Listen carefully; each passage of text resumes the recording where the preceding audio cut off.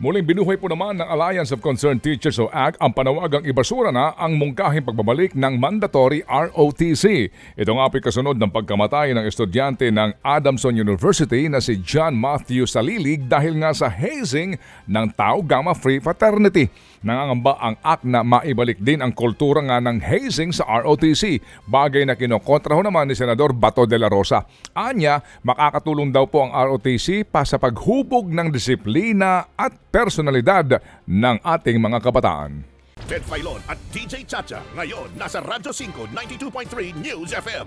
Monday to Friday, 6 to 10 a.m.